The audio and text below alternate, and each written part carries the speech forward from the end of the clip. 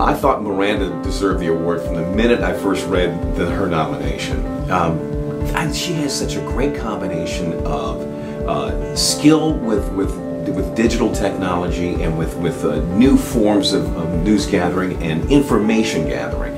Uh, the fact that she literally made herself go learn English because she wanted to be a better journalist, and she used that to become the best writer I think I've read this year. Some of her writing was so great because she was able to take really, really mind-boggling reams of uh, information and data and numbers and things, and she turned them into a story that was really, really engaging and, and, and easy to follow, which I think is one reason why her stories had such impact and we were able to really convince so many people that what she was trying to, to, to, tell them was important. What she is doing is something that is representative of something very, very important to a lot of new journalists that are coming and just now coming into the ranks.